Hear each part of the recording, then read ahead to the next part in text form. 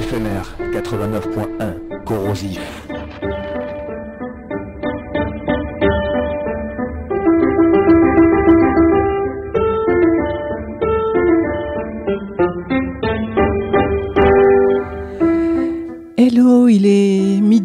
Radio FMR et nous sommes dans une émission du magazine culturel L'Impromptu, une spéciale ciné latino dont les 36e rencontres vont se terminer le 24 mars prochain.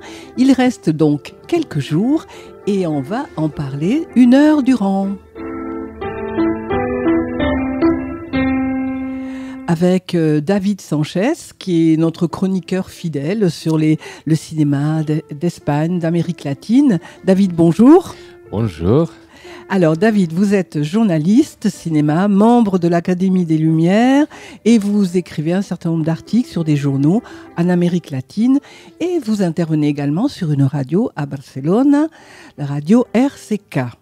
C'est ça. Et je suis très heureux d'être avec vous, avec Monique et Dominique. Merci beaucoup pour me, me, dire de venir ici à collaborer un petit moment et parler du cinéma latino. Et eh oui, le cinéma latino. Alors, cette édition, la 36e, les 36e rencontres, parce que ce sont des rencontres au pluriel, et Dieu sait si elles sont plurielles, ces rencontres, c'est organisé encore et toujours par l'ARCAL, l'association Rencontres Cinéma Amérique Latine, une effervescence créative et festive autour du cinéma d'Amérique latine, dont le cœur battant est à la Cinémathèque de Toulouse, mais il y a un programme dense et diversifié qui se déploie dans les cinémas partenaires de la ville et en région également.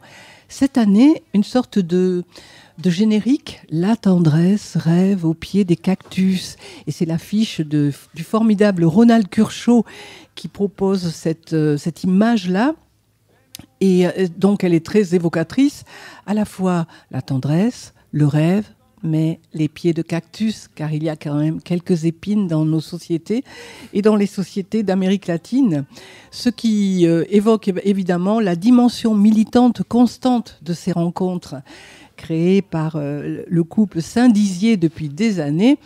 Et je salue également Eva Morche qui travaille dans, dans cette équipe et voilà toute cette équipe très chaleureuse. Alors, on va déployer le magazine avec un retour sur les films de la semaine. Et là, c'est évidemment David qui va intervenir. Puis, euh, je me permettrai de faire une chronique sur une soirée euh, du mardi soir spécialement sur le cinéma cubain et sur les, résistances, les émergences, et puis euh, un petit peu la situation du cinéma cubain. Après, on aura une interview sur le festival du court métrage. Et puis on vous parlera du, programme des jours à venir, les films, la soirée de clôture, le bal tango, euh, la programmation jeune public, sans oublier les apéros-concerts qu'il y a tous les soirs dans la cour de la Cinémathèque et qui vont euh, tisser la, la, fibre sonore de ce magazine et quelques infos pratiques si vous en avez besoin. Et donc, euh, euh, Ciné Latino, les 36e rencontres, c'est parti avec David. Donc David, ça fait quelques jours, euh, puisque ça a commencé depuis le début, il y a quelques jours en mars. Oui, les 15. Les 15. Le 15 mars, et ça se poursuit jusqu'au 24. Alors, euh, les films, qu'est-ce qui s'est passé? Qu'est-ce qui a retenu votre attention? Bon, En fait, il y a beaucoup, beaucoup de films. Ça commence vers 9h du matin jusqu'à 11h, des fois. Donc, il y a c'est impossible de tout voir. Ça, déjà, il faut dire ça. Oui. Mais quelque chose que je voulais, euh, remarquer, c'est que sur euh, Ciné Latino, le cinéma, c'est important, mais il y a beaucoup de choses à côté qui aussi sont importantes. Bon, après, on parlera un peu de ça. Mais par exemple, il y a euh, toujours, tous les ans, il y a un invité d'honneur cette année, c'était Teresita Sanchez. Eh Donc, comme ça, on profite pour voir des films qui sont faits par, par elle. Ou, oui, sa filmographie, quoi. Sa filmographie. les films auxquels elle a participé. Exactement. On parlera après de quelques films qu'on pourrait même. Il nous restait encore trois jours, cinq jours. On, parlera après de quels films où euh, Teresita Sanchez, elle fait partie. Aussi, on a un focus sur les horreurs mexicains. Donc, tous les films qui sont euh, des, des genres euh, fantastiques au Mexique, mais même des années, euh, ça fait déjà même 30, 40 ans. Ah, mais ils vont bien, les Mexicains, pour ça. Hein, parce que déjà, avec tout l'univers de la fête des morts et tous les masques qu'ils ont, ils ont, et même ce cinéma, il a, il a cette dimension fantastique. cinéma brésilien aussi, d'ailleurs, un peu. Mais bon. Moi, j'ai eu la chance de voir Santa Sangre d'Alejandro Jodorowsky. Jodorowsky, quand on dit Jodorowsky, les gens disent Ah oui, il est connu. Donc c'est comme voilà, Truffaut, Almodovar, c'est un nom que ça. ça ah ben, Jodorowsky, oui, oui, quand même. Voilà. Donc lui, il a, on a eu la chance de voir à la Cinémathèque son film. Donc c'était quelque chose de bizarre, il faut dire, quelque chose de différent. Et voilà, ça fait honneur à, Focus Horror Mexique. Qu'est-ce qu'il y a de plus? Il faut, avant de commencer à parler du cinéma, je voulais juste dire que euh, Ciné Latino, c'est pas que à Toulouse, même si la plupart c'est à Toulouse, mais aussi il y a Ciné Latino en région. Mm. Donc euh, en région, ça veut dire Bon, j'ai une liste d'endroits. Je crois qu'il y a presque 40 endroits autour de Toulouse. Dans le Lot, à Cahors, euh, à, Aucanville. Enfin, il y a énormément de lieux qui, qui, relaient finalement la programmation. Ce qui veut dire que sur cette même période, dans plein de cinémas de la Grande Occitanie, on a euh, Ciné Latino qui est euh, totalement présente. Oui, exactement.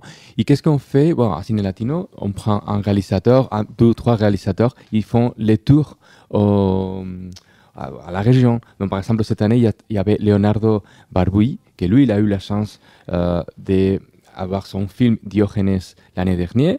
Et cette année, qu'est-ce qu'il fait? Il fait la distribution de son film en France. Ça, c'est la chose la plus compliquée pour un film latino-américain, de faire la diffusion dans un pays européen. Donc, euh, la distribution, quoi. oui. la distribution, déjà, c'est compliqué, mais même. C'est le nerf de la guerre, là. C'est les financements et être vu. Être vu aussi. Exactement. Être vu, c'est le plus essentiel. Lui, il a passé quelques jours ici. Il vient, lui, il venait de Paris. Il a passé maintenant, je crois, il est à Bordeaux, donc déjà.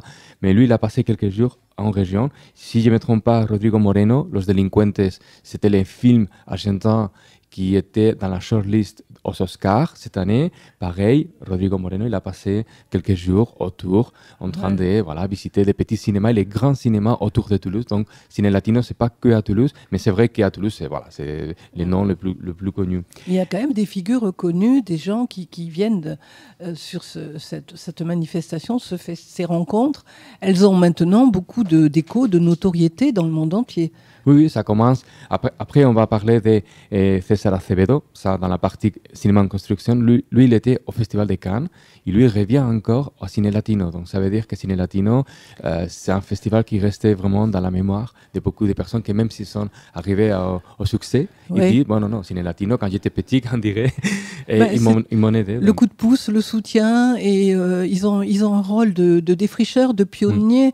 Et d'ailleurs, euh, l'équipe de cinéma en construction euh, effectivement, elle a tout un travail auprès des réalisateurs de soutien et d'accompagnement pour les projets. Enfin, je sais pas, en construction, ça dit bien ce que ça veut dire. Exactement. Et en plus, ça que ça m'a, ça m'a beaucoup, euh, ça m'a fait plaisir ça, quand tu as dit que c'était un festival très revendicatif.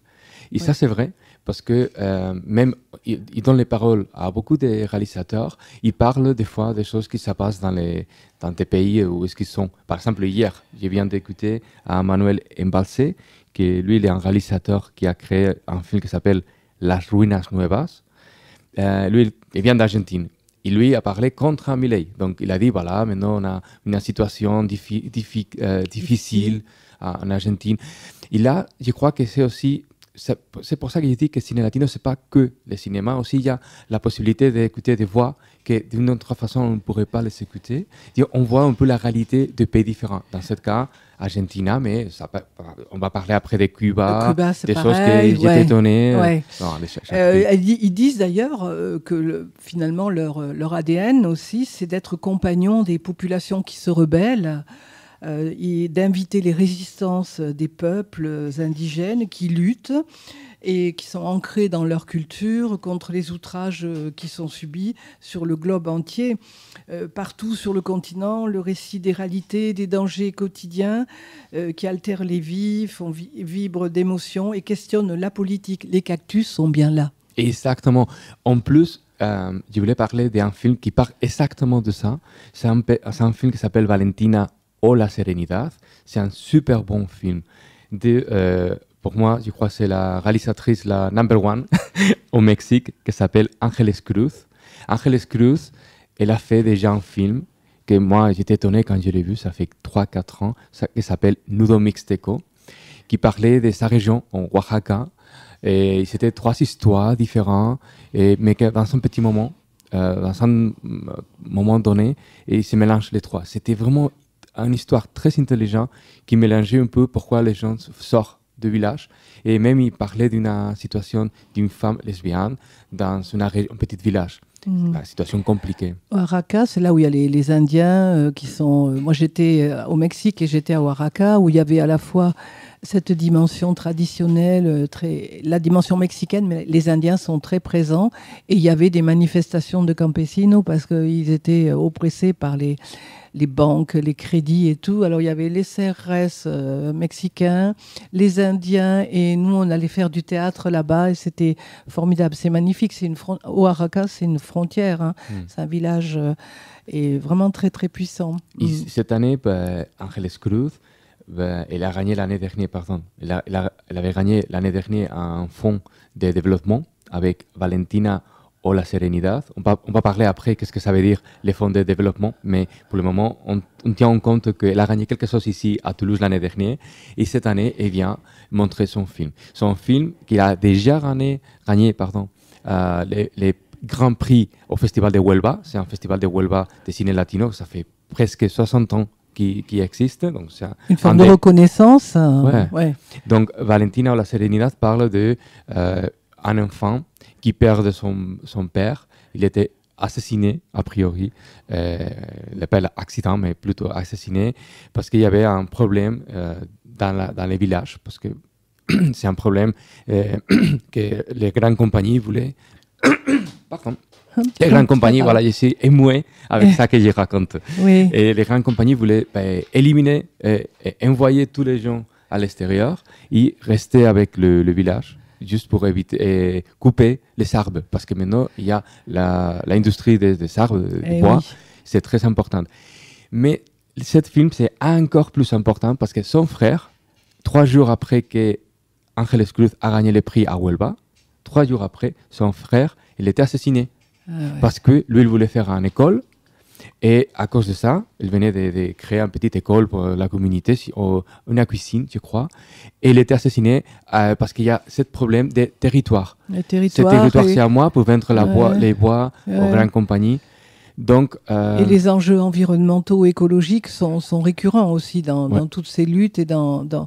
et c'est vrai que le cinéma euh, raconte ça. On appelle ça le cinéma du réel, mais ça raconte euh, terriblement toutes, toutes ces situations et tous ces, tous ces défis qui, se, qui, qui sont relevés par les réalisateurs, les cinéastes pour rendre compte, donner parole et donner donner écho à, ces gens. Euh, ouais, c'est assez moche comme histoire quand même. C'est en fait une fois qu'on connaît l'histoire, qu'est-ce qu'il y a derrière, vraiment, on voit les films d'une façon différente.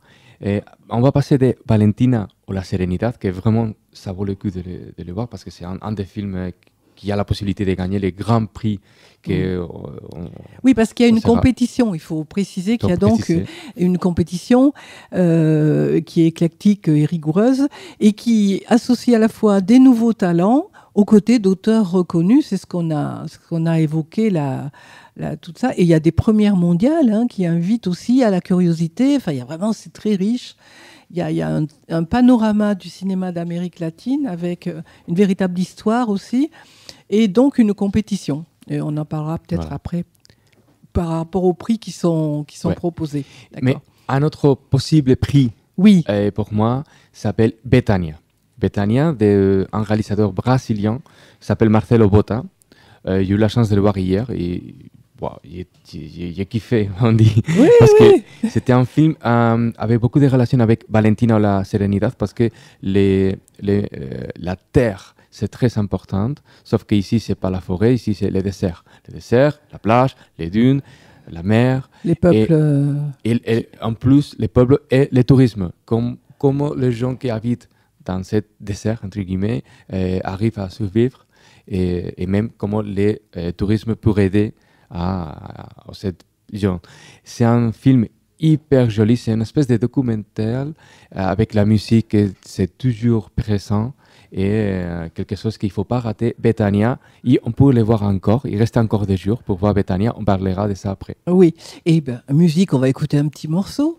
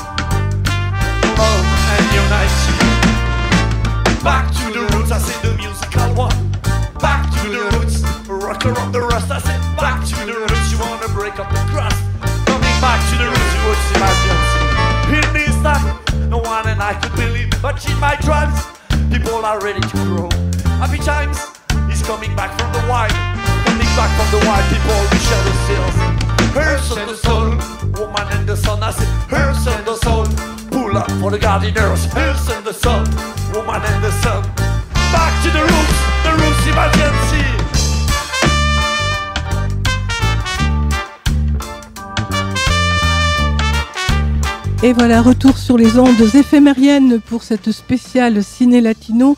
Les 36e rencontres, c'est à Toulouse et dans la région, c'est jusqu'au 24 mars.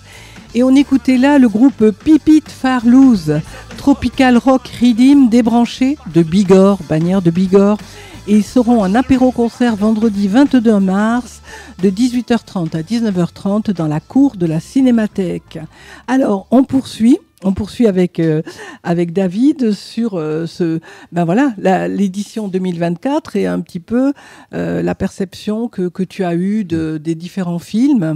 On continue, si tu veux, avec la compétition fiction, un ou deux films de plus. Après, on pourrait passer, si tu veux, au court-métrage, parce que s'il y a court-métrage qui sont très très bons, on verra. Alors, la compétition, euh, en fiction Fiction. Oui. Il nous restait, il y a beaucoup, mais ça que j'ai remarqué peut-être, c'est un film de Santiago Lozano, un monsieur colombien qui a fait un film qui s'appelle J'ai vu trois lumières noires, qui parle de euh, dans la forêt à côté de Cali et les problèmes qu'il y a les gens qui habitent là-bas avec euh, les paramilitaires. Mm. paramilitaire, même si on pense que la paix s'est déjà arrivée depuis quelques années, c'est mm. pas tout à fait parce qu'il reste encore des endroits où, euh, même, si ça va super bien maintenant. C'est les FARC, non En Colombie, c'était les FARC, non En Colombie, me semble. enfin, bon, bref. Les FARC, c'était avant. Les trucs armés, les luttes armées, quoi. Puis il y a eu les, les enlèvements différents et variés. Et puis ça s'est il y a eu des négociations, ça s'est relativement pactisé, mais il reste une violence, euh, c'est cela que, dit le film en fait. Exactement, il reste encore des, gens qui, qui, faisaient partie de la FARC avant ou des groupes différents et que maintenant la façon de se gagner la vie, bah, des fois c'est des, choses qui ne sont pas bonnes. Les trafics, voilà. Donc euh, Santiago Lozano, il a fait déjà un film à Toulouse qui a gagné le grand prix qui s'appelle Siembra. Il parlait un peu de quelque chose de similaire. Donc on voit encore une fois que des réalisateurs qui, qui ont passé par euh, Toulouse, ils reviennent. Donc ça, c'est quelque chose que c'est de sympa. Euh, c'est un peu comme au Festival de Cannes. A priori, dans le Festival de Cannes, il y a, entre guillemets, tous les, tous les ans, il y a quelqu'un qui est déjà passé des années précédentes. Donc Toulouse, c'est similaire. C'est peut-être le, la rubrique les reprises, peut-être, ou c'est des reprises du, du, patrimoine cinématographique? Non, non, ben, non, c'est que des fois on fait des, par, exemple l'année dernière, si je ne me trompe pas, on a fait un focus sur le cinéma colombien, et peut-être, je ne me souviens pas, mais les films de Siembra, qui, qui, a gagné, qui avait gagné, ça fait huit ans, le festival à Toulouse, peut-être on l'a mis. Donc des fois on fait des, des remises, entre mmh. guillemets. Et on pourrait passer ah, oui. Oh, c'était le long métrage de fiction, hein, là. Exactement. Et il y a, alors? il y a, si je ne me trompe pas, il y a 12. Il y a... Oh, je n'ai pas compté là, je les ai sous les yeux parce qu'il y a une sacrée, il y a une plaquette programme qui est sacrément dense, mais qui est efficace. Et il le faut, hein, il y a tellement de choses. L'idée, c'est d'avoir des, cinémas de tous les pays. Oui. c'est vrai Et tous les formats aussi. Et tous les formats. on passe au format court-métrage, qui aussi, il y a pas mal. Et j'ai vu quelques-unes, et parmi ça que j'ai vu, il faut dire que Esteban Pedraza, c'est un autre Colombien. Euh, il faut dire que Colombie, maintenant, ils sont forts au cinéma. Ah. Il, y a, il, y a, quelques ils pays. Sont très présents. Ah oui, oui. Ils ont beaucoup de production. Beaucoup de production de, qualité. qualité. Ah. C'est le Chili, l'Argentine, Mexique. Euh, je crois que les trois pays comme ça, ils sont à fond. Brésil et Colombie, les cinq pays, à mon avis, sont à fond. Donc, dans ce cas, Esteban Pedraza a créé un court métrage qui s'appelle Bogota Story. Et c'est un film qui parle des années 90, encore une fois, de la violence qu'il y avait dans ce moment donné à, à Bogota et comment euh, une femme doit partir aux États-Unis parce qu'elle n'arrive pas à, vivre avec euh, cette violence. Et euh, Esteban Pedraza, en fait, il vient ici, mais lui, il est déjà passé au Festival de Venise. Donc déjà, ça veut dire que c'est un court métrage très très bien faire. Et il est prometteur, quoi. Ça veut dire ah, qu'on va le retrouver sur un long métrage. Euh, J'espère, parce que quand on voit la qualité comme ça, bah, déjà c'est un court métrage quand, euh, des, années 90 Et ça, il faut payer, entre guillemets, les costumes, la localisation, tout c'est dans les années 90. Et ça, c'est cher. Ça veut dire que, voilà, il a vraiment euh, fait un investissement. Il a mis de l'argent dedans pour faire ce court-métrage. Et on espère qu'avec les longs métrages, ça va aller. Et un deuxième, et comme ça, on peut finir euh, la compétition court-métrage, c'est un film de euh, le guatémaltèque Joaquín Ruano. Et le film s'appelle La ciudad que ocupamos en français, on pourrait dire euh, La cité qu'on a occupée. Voilà. Et c'est un film de un rencontre. Un rencontre entre une femme trans et son père. Et mm. comment le père, il reçoit sa, sa fille maintenant. Mm. Et voilà, il raconte un peu euh, la difficulté des différentes générations à accepter la réalité. Donc voilà, on a ici Esteban Pedraza avec Bogota Story et Joaquín Ruano, La ciudad que ocupamos, dans la section des courts-métrages, que aussi, il ne faut pas oublier, les courts-métrages sont très très importants. Oui, alors il y a aussi, on dit, il y a des, soirées euh, spécifiques justement euh, par rapport aux trans. Il y a la projection de albums des familles et avec un débat mené par Rosa Ventadou et le collectif Meuf Trans à Toulouse sur le thème cinéma et transidentité, luttes et représentations. Et ça, c'est vendredi 22 euh, à 20h au cinéma ABC qui est aussi cinéma partenaire. C'est ça. Et après, euh, on peut parler des, des, gens qui sont ici. Par exemple, on parle de Ernesto Daranas Serrano. Qui est Ernesto Daranas Lui, il est un réalisateur cubain et qui a créé un ah film, euh, un documentaire sur Landrian. Landrian, lui, il était un réalisateur. Et ça, je vais en parler dans le, dans le cinéma cubain. Oui, oui, c'est fondamental. Oui, oui, mais euh, peut-être. Tu l'as vu le, film ou le documentaire? Oui, oui, c'était ben, très, très un bon film. On pourra échanger là-dessus quand tout à l'heure, je vais juste en parler. Ouais. Mais en plus, Ernesto Daranas, il fait partie du jury. Ça, il faut le dire. Ah oui. On profite que des fois, il y a quelqu'un qui présente un film pour le mettre dans les jurys. Comme ça, on profite de. Et donc, le jury, ça veut dire qu'il y a une cérémonie euh, des prix de compétition avec une remise des prix long métrage, court métrage. Et ça, ce sera le samedi 23 euh, mars, samedi 23 à 18h30 euh, au cinéma Pathé Wilson et l'entrée est libre. Donc, vraiment, ça vaut le coup parce que là, vous avez un panel de tout ce qui a été présenté.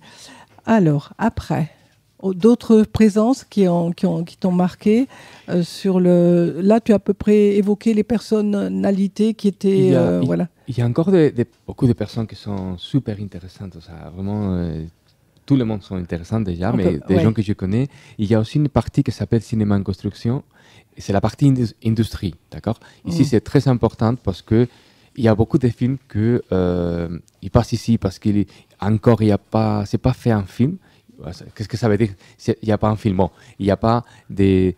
Il n'y a que les. Euh, euh, c'est écrit les idées de qu'est-ce qu'il voulait faire. Ça, c'est la possibilité de montrer un petit. Euh, une trame, un peu de. un synopsis, quelque chose. ouais. Et là, on pourrait faire une compétition en développement. Mm. Parce que comme ça, on pourrait avoir de l'argent après pour faire la production de films.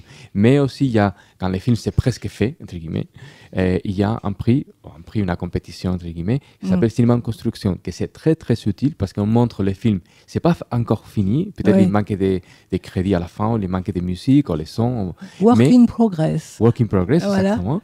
Mais là, ça donne l'opportunité de euh, montrer les films et euh, dire aux gens qui viennent Ah, ouais, ben voilà, j'aime beaucoup ce film euh, pour mon festival. Euh, peut-être dans quelques mois, quand ça soit fini, ben, je vais le prendre.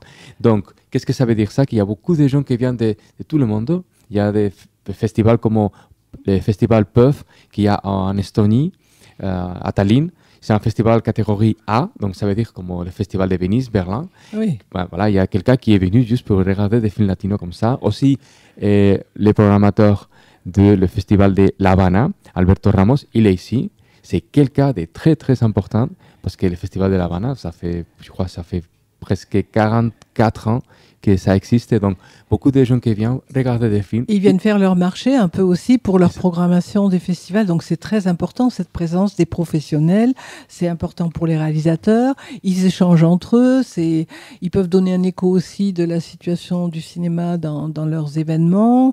Il y a une belle synergie là qui opère. Exactement. Et en plus, je crois que quand les films passent par cinéma en construction. Encore une fois, cinéma en construction pour les gens qui sont à Toulouse, on ne les voit pas, c'est un peu caché parce que c'est pour les, pros, mais ça donne la possibilité d'aller au Festival de Cannes parce que c'est pas c'est une espèce de, tampon qui dit voilà des qualités ah, qui donne les ciné. C'est un label en fait, c'est une sorte oui de, de ticket d'entrée pour euh, le festival de Cannes. C'est pas rien, c'est pas rien. Hein. Et nous ah on a quelqu'un. Qu'est-ce qu'il y a cette année alors? Il y a eu des choses. Euh, moi, on ne sait pas encore, mais il y a quelqu'un comme César Acevedo avec Horizonte.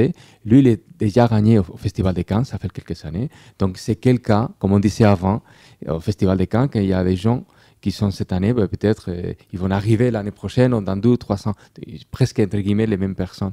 Donc César Acevedo, on ne sait pas encore, mais j'espère que lui sera au Festival de Cannes parce que euh, le cinéma colombien, encore une fois, c'est à la mode, euh, mm. c'est de bonne qualité, donc on verra si Horizonte, dans quelques mois, sera au Festival de Cannes. Et voilà, déjà, ben, il y a pas mal de, films qui sont passés au Festival de Toulouse, qui après sont allés au Cannes, au Festival de Cannes. Par exemple, 31 films sont sélectionnés à, Cannes depuis que ça a commencé les, ah Donc c'est un sacré coup de pouce et c'est une référence, quoi. C'est une vraie reconnaissance. 21 hein, films sont sélectionnés à Berlin, par exemple, mmh. et en total, tous les films qui sont passés au, cinéma en construction, que chacun, il y a 6 films, donc il n'y a pas trop, il n'y a que 6, que 6 ben, 94 films sont distribués en France après. Ah, donc, c'est énorme, ça, énorme. Donne, mmh. ça donne vraiment un parce que même pour les réalisateurs français, le problème, c'est la diffusion, bien sûr. Euh, c'est évoqué aux rencontres cinéma de Jindou avec les réalisateurs qui présentent leurs films en avant-première. Ça. Il n'y a pas toujours la diffusion qui est déjà posée et c'est compliqué après hein, d'être dans les salles et d'être en, en, visibilité. Quoi. parce que gagner des prix, c'est compliqué. Mais encore une fois, pour, à mon avis, le plus compliqué, c'est après remplir les salles et commercial. Donc, eh faire euh, les gens payer pour aller au cinéma. Et être vu, quoi. Que le travail soit vu. C'est quand même pour les, euh, les, les, réalisateurs, c'est le plus important. Bon, allez, une autre petite pause musicale avec pareil, un apéro-concert avec le Renard et les Tigresses. C'est du latino funk fusion. C'est samedi en fin de journée euh, dans la cour de la Cinémathèque où, je le disais, il y a une belle effervescence, il y a de la restauration, il y a évidemment des liquides, des choses liquides à déguster et l'ambiance et ça danse de partout. C'est formidable. Allez, dans la cour de la Cinémathèque, il y a une ambiance extraordinaire.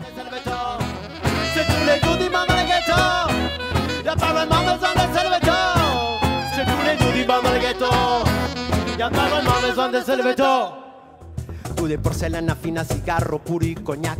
Yo de smoking, yo de frac, yo recibiendo propina. A toda la bolsa y a la ruina tú subiste, yo bajé. En los muelles te encontré, vi que te echaban al mar y no lo pude evitar, ni a las aguas me arrojé.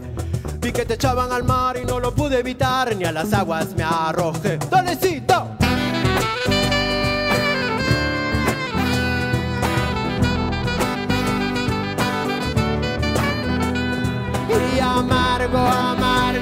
es nuestro sabor. Y amargo, amargo es nuestro sabor. Y amargo, amargo es nuestro sabor.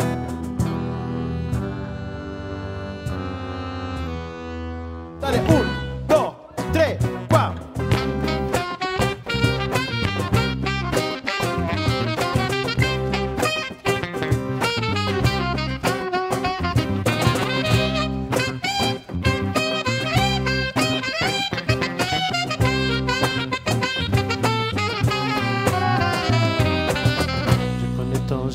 Tu veux pas me prendre, tu veux résister. Et quand je te touche, je te plus, tu veux me torturer. Que pas tes copains, que tes vrais amis qui t'aiment comme des frères, mais moi, mais moi. Moi, je les ai vus, je les ai vus souffrir autant que moi.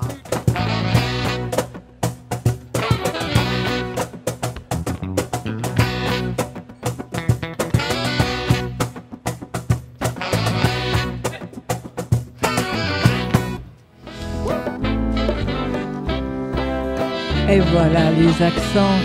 Después vendrás a mí pidiéndome perdón, pero ya mi corazón ya no quiere más de ti.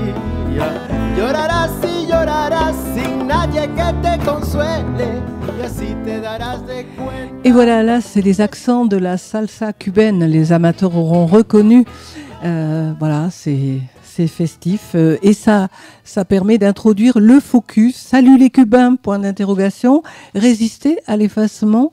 Et ce focus a, a, réuni un certain nombre de présences euh, pour évoquer euh, Cuba, qui a été pendant la seconde moitié du XXe siècle un pays au cinéma dynamique, le fruit d'une politique nationale et volontariste dont l'ICAIC euh, était l'organisation euh, était l'organisation qui portait tout ça, et puis la ferveur révolutionnaire, le carburant. Euh, mais les immenses difficultés actuelles depuis le, le, blocus euh, euh, ont modifié en profondeur la relation de l'île à ses cinéastes. Et actuellement, la production cubaine est en grande partie un cinéma de l'exil. C'est bien dommage, mais voilà. C'est pourquoi la sélection de courts-métrages de cinéastes de la diaspora présente avec quelques films en provenance de l'île est là, mais il y a la diversité aussi de la génération exilée. Euh, ces jeunes réalisateurs y revendiquent la référence d'un artiste méconnu, Nicolas Guillen Landrian, euh, et dont, on parlera du film d'Ernesto Daranas Serrano, qui a, fait un, documentaire formidable. Alors, il y avait mardi soir, et nous y étions, euh, une soirée Salut les Cubains, dans le cadre de ce focus Salut les Cubains, résister à l'effacement une soirée, salut les Cubains, les Cubaines aussi, rencontre indépendance. Il y avait Agnès Jaoui, Ernesto Daranas Serrano et les membres de la délégation cubaine. cette rencontre était modérée par Magali Cabous, formidablement d'ailleurs modérée. Elle ce sont des interprètes qui font un boulot extraordinaire. Et c'était suivi de la projection du documentaire Landriane, euh, et avec un retour sur la rencontre. Alors cette rencontre, elle était déclinée en trois temps. Euh, la question de la naissance d'un cinéma indépendant euh, à Cuba, la question des contraintes et du prix de cette indépendance, et la question finale, pour ouvrir un peu les choses vers des perspectives plus positives, vers des perspectives tout simplement, les indépendances, la question des coproductions, des productions et la dimension créative. Alors au départ, il y a un mouvement d'indépendance au pluriel dans les marges. C'est un premier mouvement. Euh, c'est un groupe qui s'appelle le G20 aussi. Voilà, il y en a un autre qui s'appelle G20, mais pour d'autres raisons. Et puis après, ça va évoluer sur l'Assemblée des cinéastes. Et il va y avoir une production indiscutable, mais un changement total avec un cinéma du réel et un registre de créateurs indépendants reconnus, mais pas légalisés euh, sur, le, territoire de Cuba. Et euh, ces réalisateurs se retrouvent isolés euh, d'Internet. Et donc, il va y avoir une vague d'exil, euh, en tout, quelque chose comme 23 000 exilés quand même en Espagne, essentiellement. Et ils ont un statut d'apatride, et ça pose la question de la visibilité, de leur visibilité dans, l'exil. Parce que, bon, ce sont des jeunes qui s'exilent souvent, mais d'autres aussi. Mais il y a une jeunesse là qui a l'attente de pouvoir euh, de pouvoir utiliser les nouvelles technologies pour faire du, cinéma et, donc peut-être les facilités financières que qu'amènent les nouvelles technologies. Et c'est d'autres manières de produire. Ils vont créer leur propre société de production. Il y a tellement de conflits à décrire, il y a de quoi faire. Et c'est tout ce qui émerge un peu de, ces échanges et de cette rencontre, avec une dominante à vouloir garder identité cubaine et ne pas dissocier finalement les Cubains exilés de ceux qui sont restés pour éviter ce cloisonnement qui pourrait être préjudiciable. Parce qu'on est quand même sur un, stage, un stade de fragilité. Ils en sont à, réfléchir, à comprendre où est-ce qu'on a né. L'idée, c'est rester cubain à tout prix. Mais on est dans une expérience de transition pleine d'alternatives, de douleurs, mais très émouvant. Et cette génération des trentenaires se retrouve sur la même chose, Cuba, mais plus, généralement la question et la condition de, de, de l'émigré. Il y a aussi ça a été évoqué dans cette rencontre, la question géographique dans les thèmes traités. Savoir, euh, il y a une domi euh, certes, Cuba reste central, mais il y a un regard sur les autres territoires et aussi sur les territoires de l'exil. Comment les Cubains voient l'Espagne, etc. Quels sont les espaces et aussi en périphérie, par exemple, il y a des films sur la Havane, mais on parle, sans voir la Havane, on voit les banlieues, la périphérie. Il y, a, ce travail comme ça sur le cinéma du réel. il y a aussi la, question des, radeaux, des migrants. Enfin, il y a des films qui ont marqué là, les, esprits. Et puis, bien sûr, le, nerf de la guerre, les financements, la question des subventions qui sont limitées, et que donc c'est une marge qui peut en profiter.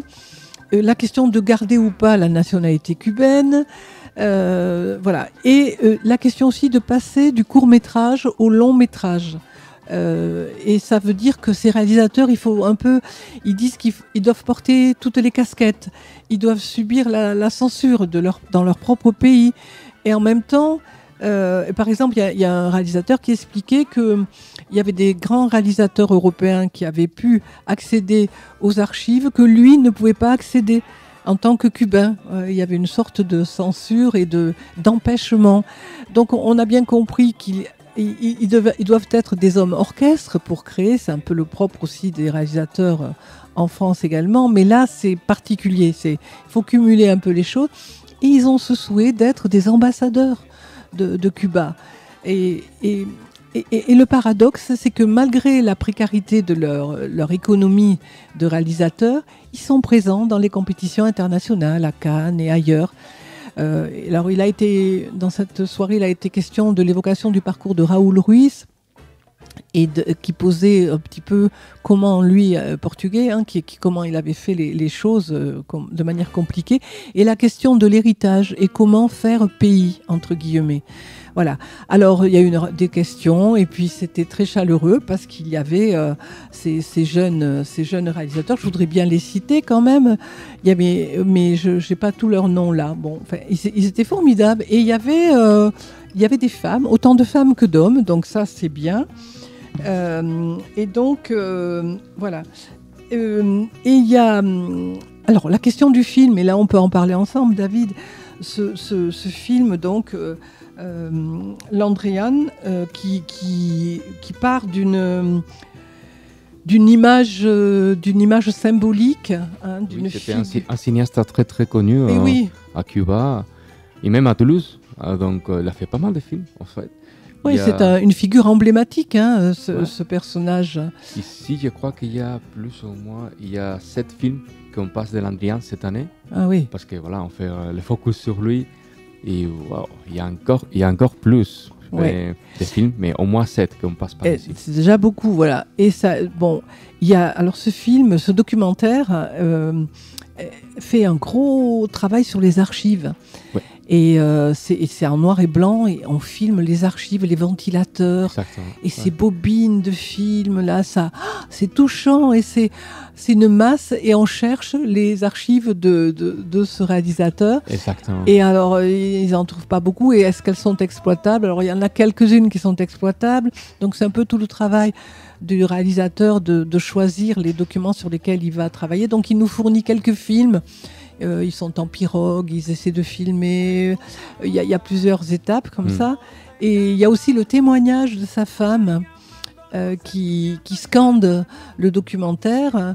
Et euh, tous ces documents qui explicitent son engagement, sa sensibilité artistique, il l'a payé cher d'ailleurs, hein, parce qu'il a, il a, ça a été compliqué. Et il y a un montage subtil, je trouve, en noir et blanc, mm. avec une matière sonore très émouvante.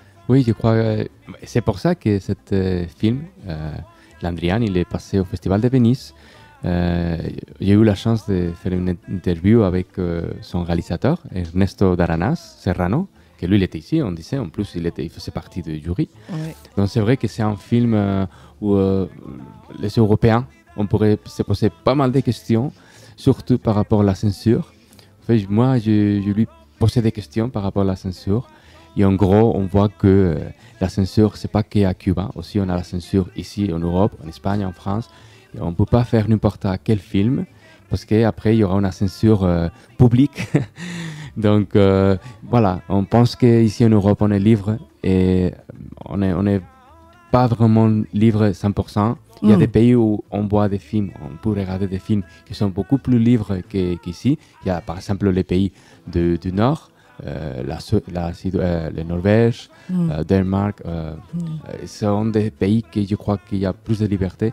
Mais dans notre extrême, c'est l'Andrian, où mm. lui, il a vraiment joué, comme tu dis, il a payé cher, mais il a essayé de jouer avec les images, de, sauver, de sauter la, la censure. Ouais, la censure. Et quand même de dire les choses, les images sont très parlantes, très profondes. Non, c'est vraiment, c'est super. Hein. C'était ce cinéma cubain, là, il est, il est mm. très attractif, je trouve. il y a, deux choses que je voulais ajouter, parce que la question c'était pourquoi à Cuba il y a tellement de, talents?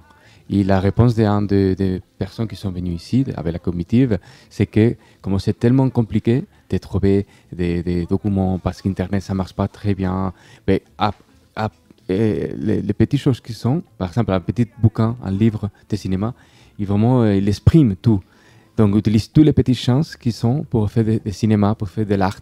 C'est pour ça que lui, il disait qu'ici en Europe, peut-être, on a tout, entre guillemets, donc on fait pas si d'efforts.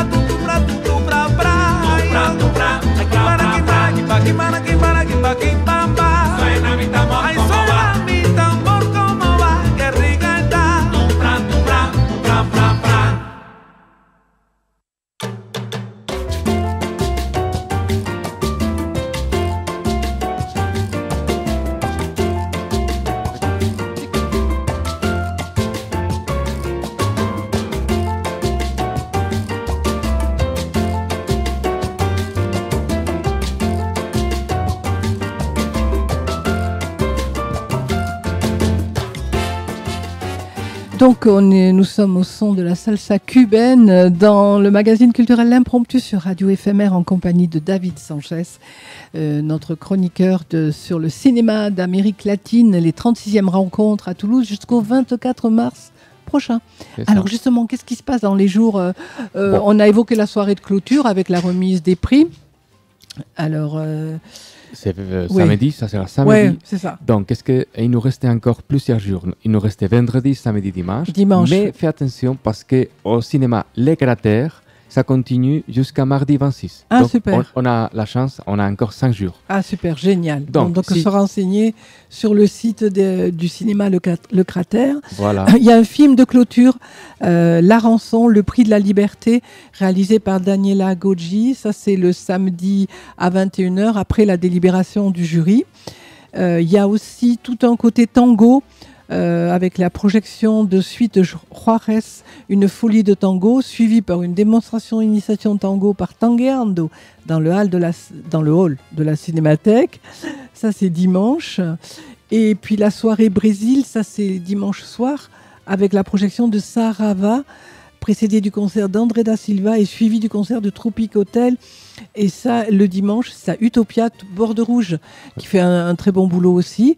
Voilà, j'ai balayé un petit peu les choses comme ça. Oui. Et, hum, Donc, tu veux dire oui. trois films. Si jamais il y a quelqu'un encore qui n'est pas ouais, visité, trois films rapidement. Sur les trois jours qui restent. Hein. Sur les cinq jours, parce qu'il reste encore. Euh, il y a deux jours au cinéma Les Cratères. D'accord. Donc, donc, si jamais, voilà, La Memoria Infinita, ça, c'est samedi 23 au euh, cinéma ABC à 17h50. La mémoire infinita, à mon avis, il ne faut pas rater. Un autre film qu'il ne faut pas rater, c'est Eureka. Ça, on a jusqu'à le 26 mars. Ça, le mardi, euh, Eureka à 15h50 au cinéma Les Cratères. Et dernier film qui, à mon avis, c'est important, c'est La Camarista, le lundi 25 au Cratère à 19, 19h40. Donc, ah, il y a un second festival qui les rencontres se poursuivent vraiment au cratère là avec euh, tous ces films. Ouais. Bon, c'est merci hein, David pour toutes ces explications. Il y a un superbe catalogue euh, qui est édité le 32e sur Ciné Latino Rencontre de Toulouse avec des articles de fond. Ça, vous pouvez vous le procurer sur site. Euh, il y a aussi une programmation jeune public. Allez sur le site. De, du festival pour des rencontres et vous aurez donc toutes les infos. Euh, les, euh, ensuite, qu'est-ce qu'on peut dire? Ah ben oui, voilà, bon, euh, les infos pratiques, vous allez sur le site, vous allez dans la cour de rencontre cinéma d'Amérique latine et vous pouvez prendre vos places, il y a des passes particuliers. Profitez bien de l'effervescence de, de ces derniers jours. Sur Ciné Latino, on renvoie un petit peu de salsa cubaine pour euh, se dire euh, vraiment euh, bravo. Ah si, il y a une exposition l'anatomie du franquisme, qui est au musée départemental de la résistance et de la déportation. Et c'est pas rien d'évoquer le franquisme aussi dans le cadre de, de, toutes ces, de tous ces enjeux du cinéma réel. Bon, on a, on a bouclé sur cinéma d'Amérique latine, on a à peu près tout dit. Un, peu de salsa. Un peu de salsa, voilà.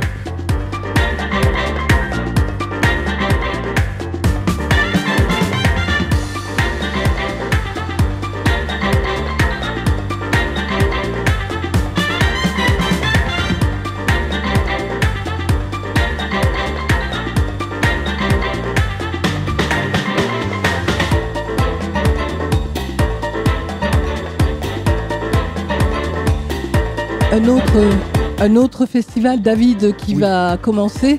On n'est pas à court hein, de programmation cinéma, un festival de court métrage. À Toulouse, il y a toujours quelque chose qui bouge parce qu'il y a trop, trop de choses, c'est bien. Euh, donc, on a eu la chance de faire une interview avec Elisa Fossière, c'est qui elle Elle est la bah, directrice du festival euh, Séquence Court Métrage, qui c'est à la fin d'année. Mais la séquence court métrage aussi, ils font, euh, euh, sont ambassadeurs de la fête des courts métrages, que c'est dans toute la France, de 20 à 26 mars.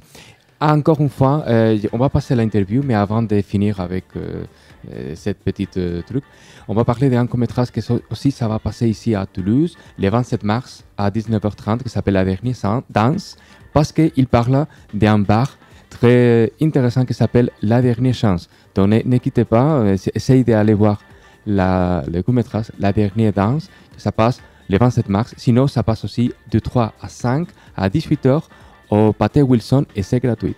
Ouais, super. Alors, on va lancer on va lancer l'interview euh, pour euh, évoquer la prochaine actualité de ce festival de court métrage. Euh, donc moi je suis Elisa Foissier Vlasenko, je suis coordinatrice du festival Séquence Court Métrage, qui est le festival de court métrage de Toulouse. j'ai travaillé pour plusieurs festivals avant de revenir à Séquence parce que j'ai commencé à travailler il y a 10 ans, c'était mon premier festival. Et là je reviens ici et, et voilà, l'ancien coordinateur est parti et je le remplace depuis septembre.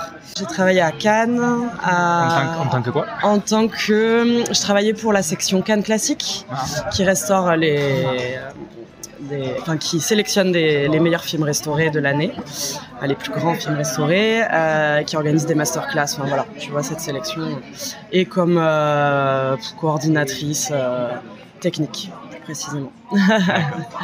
Euh, j'ai travaillé à Lumière à Lyon, à la programmation. J'ai travaillé pour Unifrance aussi, sur des événements euh, pro pour la, promotion du cinéma français à l'étranger. Ils ont un énorme événement en janvier, euh, ah, donc plutôt presse, du coup, oui, voilà. tu connais, ouais.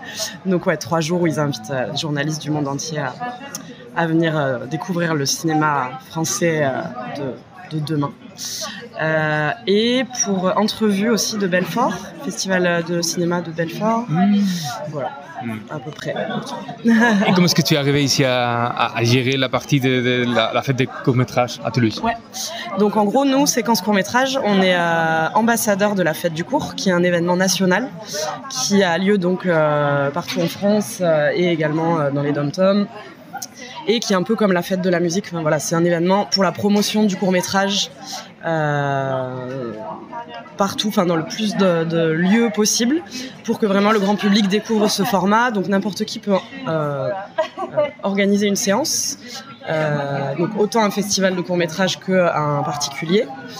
mais l'idée, c'est qu'il y ait quand même des structures qui s'emparent un peu de l'événement et qui organisent des ateliers, plusieurs séances au sein des villes donc euh, les ambassadeurs. Donc, euh, euh, donc, voilà, nous c'est ce qu'on fait là. Et ce que je voulais dire aussi, juste sur le, contextualiser un peu le, principe, donc ils mettent à disposition un catalogue. Eux, ils font une, programmation très large avec plein de programmes, plein de films aussi à passer individuellement où on peut un peu moduler son programme. et libre de droit. Donc c'est aussi l'intérêt de l'événement. Enfin, ce qui change un peu nous de notre festival à nous, qui a lieu en fin d'année, euh, c'est que voilà, c'est une toute autre organisation quoi. C'est vraiment pioché dans les programmes qui ont été faits. Euh, du coup, ça nous permet euh, peut-être de développer plus le côté atelier ou le côté plus événementiel, mhm. faire des ciné-concerts. Enfin, on a plus le temps, on va dire, de de développer autre chose à ce moment-là que pendant notre festival où là il faut qu'on deal les droits, enfin où il y a où il y a voilà, un autre travail à faire. Quoi. Alors, votre festival euh, s'appelle euh, Séquence Court-Métrage. c'est ça. C'est de quelle date à quelle date? Alors là, cette année, ça sera du 11 au 15 décembre. En général, c'est mi, début décembre, mi-décembre. Et euh, là, c'est la 33e édition en 2024. Et maintenant, vous allez faire euh, la fête de court-métrage de 20 à 26 mars, c'est ça? C'est ça, ça commence mercredi, ouais. Et qui est derrière, euh, derrière euh, la fête de court-métrage? Il y a la CNC, il y a qui, qui, l'agence de court-métrage, qui est derrière? L'agence, c'est un partenaire, mais il y a l'association, donc c'est Fête du cours, je crois, F-A-I-T-E-S, et c'est, ils sont reliés à Off-Court Trouville sais pas si vous voyez, c'est un énorme festival de court métrage qui est à Trouville. Donc c'est une association, mais, euh, mais aidée par le CNC.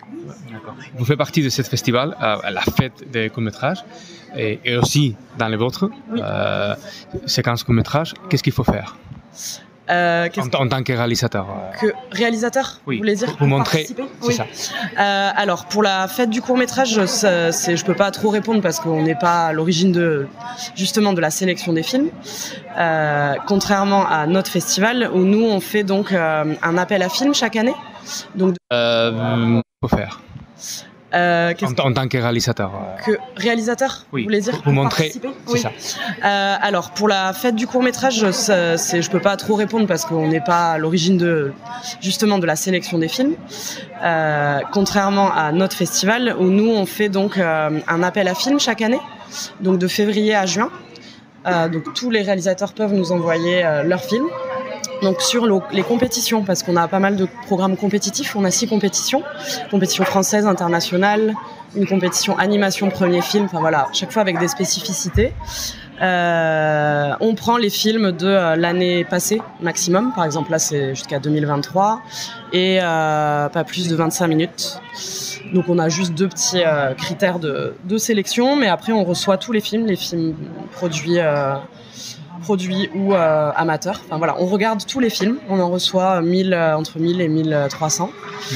Euh, on a un comité de sélection de gens bénévoles, donc euh, même si vous êtes cinéphile, que vous avez envie de vous investir, que vous aimez le court métrage, euh, vous pouvez nous contacter et, faire partie du comité de sélection, ce qui est assez rare dans un festival. Enfin voilà, c'est en général, voilà, c'est réservé à quelques personnes. Euh, et nous, c'est vrai qu'on adore ce côté de pouvoir ouvrir ça, euh, de pouvoir euh, voilà, se retrouver, discuter des films ou regarder les films chez soi et après faire des réunions de programmation.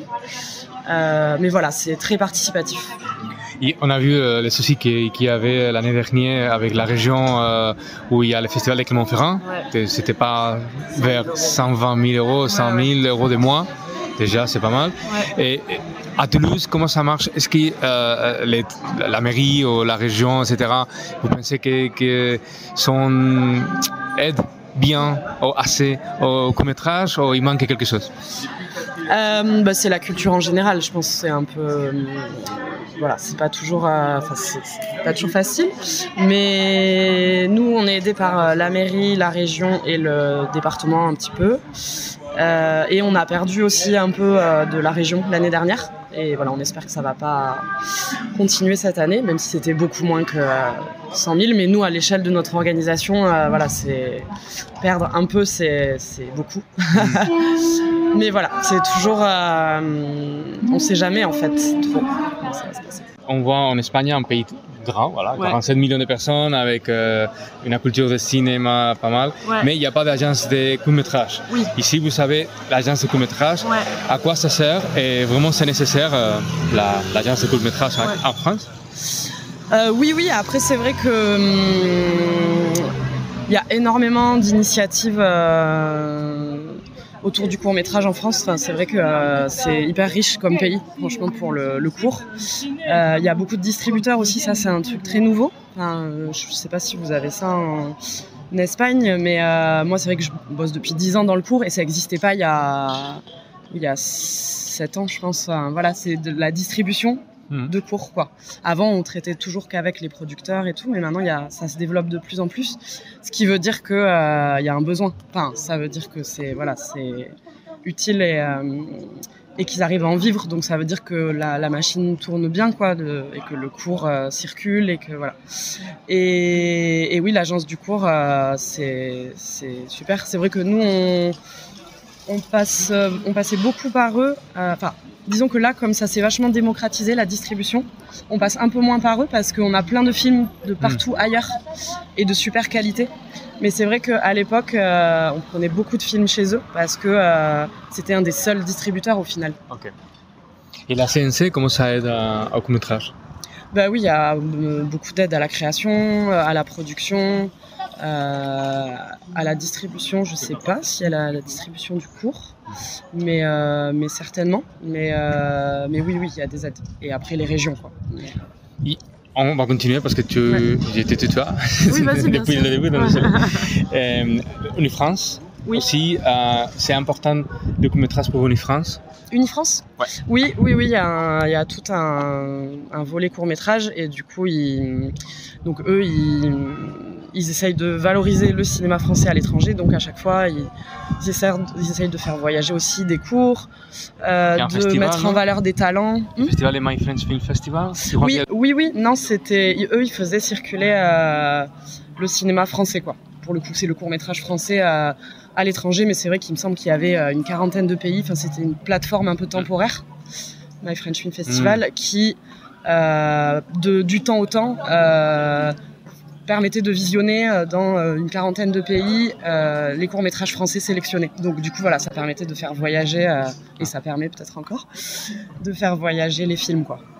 Combien ça coûte pour les personnes qui voulaient aller au cinéma? Est-ce qu'il y a carte de 10 Ouais, alors la fête du court métrage, l'intérêt c'est que c'est gratuit à part dans certains cinémas, euh, pour dans les cinémas, euh, les vrais cinémas, euh, il y a des prix, enfin il y a des prix uniques, mais c'est voilà, c'est moins cher que d'habitude, mais mais c'est pas gratuit partout, mais c'est du coup là nous il y a que deux séances qui sont payantes, on va dire sur tout le programme.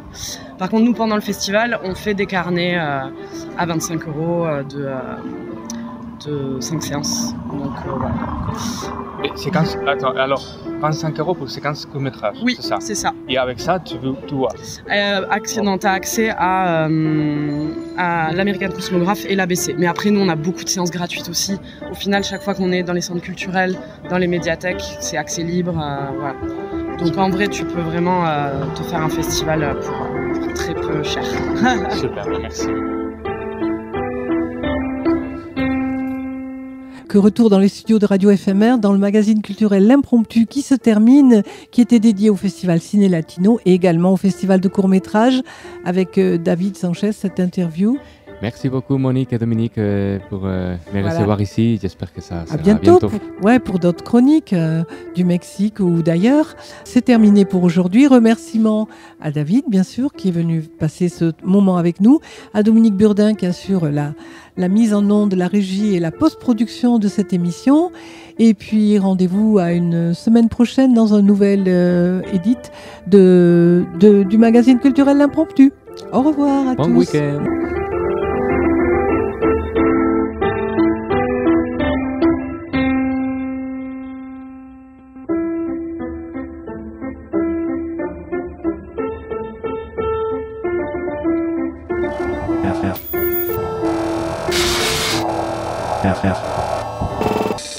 FFFMR 89.1 Toxi